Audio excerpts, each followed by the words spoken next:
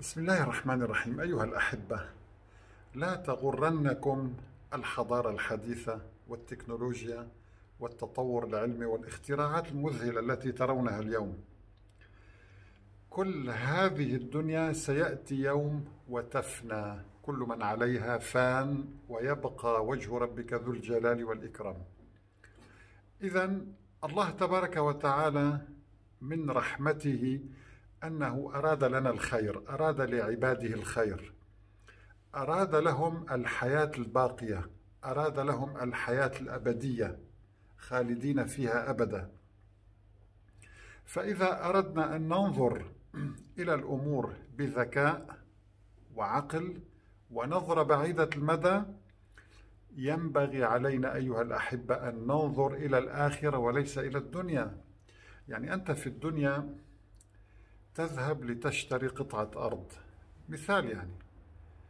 تشتريها وأنت آه، يعني في في هذه اللحظة لا أحد يشتري هذه الأرض. ولكن أنت تعلم أن في المستقبل هذه المنطقة ستتطور وسيرتفع ثمن الأرض أضعاف مضاعفة.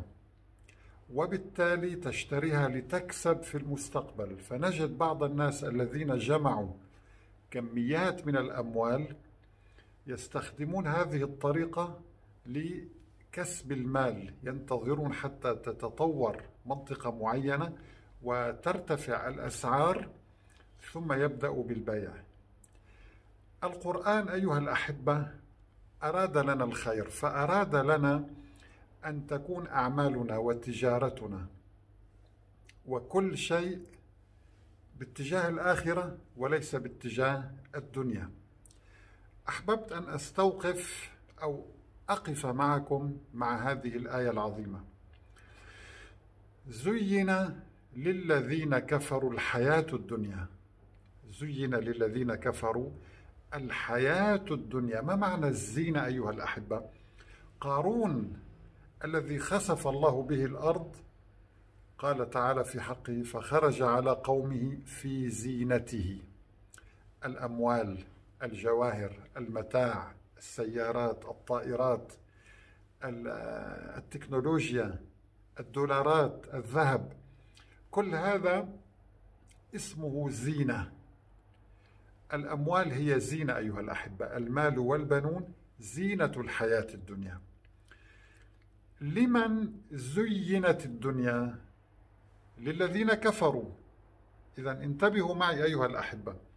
لا تقولوا إن الغرب تطور لأنه تخلى عن الدين فينبغي أن نفعل مثله. دققوا. زين للذين كفروا الحياة الدنيا. هم يعملون من أجل شيء فاني. لا يعملون من أجل الآخرة. لذلك نظرتهم قاصرة ومصيرهم سيء جدا. يعملون لفترة مؤقتة فقط من أجل حياة قصيرة. زين للذين كفروا الحياة الدنيا. ولكن نجد هؤلاء الكفار والعياذ بالله منهم ملحدون منهم مشككون يسخرون من المؤمنين يستهزئون بالمؤمنين. يقولون انظروا إلى المسلمين كيف هم في حالة جهل وتخلف وكذا. لأن مقياس التخلف بالنسبة لهم هو الدولار فقط أو الذهب أو الاختراعات. لا يفقهون لغة العاطفة لغة العلاقات الاجتماعية التي من الله بها علينا. لا يفقهون لغة الطهارة. الطهارة هي هي هي أم السعادة أيها الأحبة. الإسلام دين الطهارة. لذلك تجد هؤلاء تجدهم يسخرون من الذين آمنوا ويسخرون من الذين آمنوا والذين اتقوا فوقهم يوم القيامة والله يرزق من يشاء بغير حساب. سبحان الله.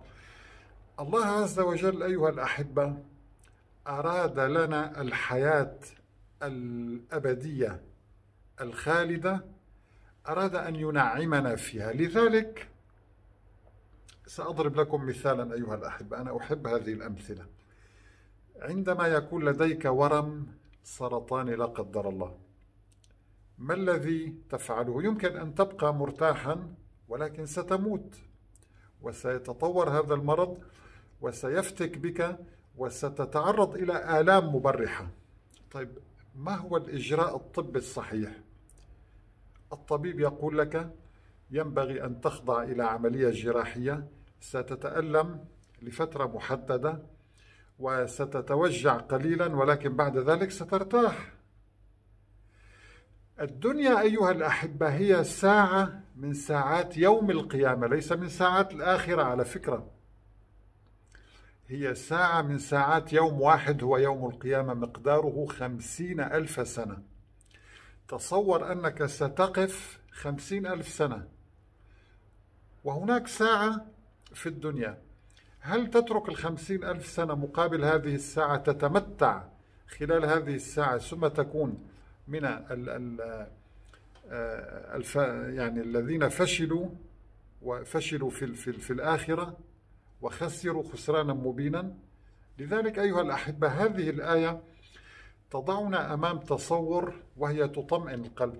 تطمئن قلب المؤمن الذي ليس لديه شيء من المال ليس لديه شيء من متاع الدنيا آه، يرى هؤلاء غير المسلمين يتطورون ويبنون وحضارة عظيمة جدا ويعني آه، زينة زينة زين للذين كفروا. يرى هذا الأمر فيجد حسرة في قلبه. هذه الآية تقول له لا تحزن لأن كل هذه الدنيا هي عبارة عن ساعة واحدة فقط ولكن يوم القيامة والذين اتقوا فوقهم يوم القيامة.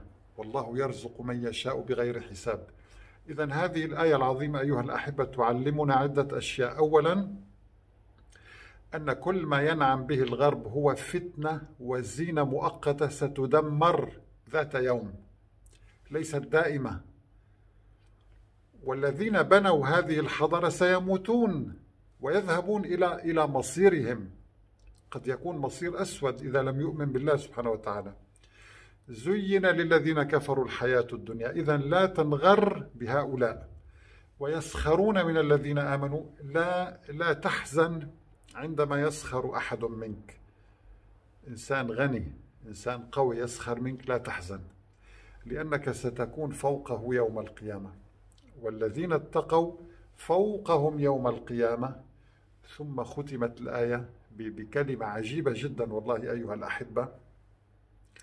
والله يرزق من يشاء بغير حساب. لو أراد الله عز وجل أو لو أن الله يعتبر أن المال هو الأساس لآتى نبينا محمد صلى الله عليه وسلم المليارات. لماذا لم يعطي ذلك؟ لأنه لا يريد الله لا يريد الدنيا. يريد الآخرة لأنها هي الباقية هي التي ستخلد فيها. لذلك أحبتي في الله احفظوا هذه الآية تطمئن القلب بالفعل وتواسي المؤمن وبخاصة في هذا العصر. زين للذين كفروا الحياة الدنيا ويسخرون من الذين آمنوا والذين اتقوا فوقهم يوم القيامة والله يرزق من يشاء بغير حساب. نسأل الله سبحانه وتعالى أن يرزقنا وإياكم بغير حساب في الدنيا والآخرة. والسلام عليكم ورحمة الله تعالى وبركاته.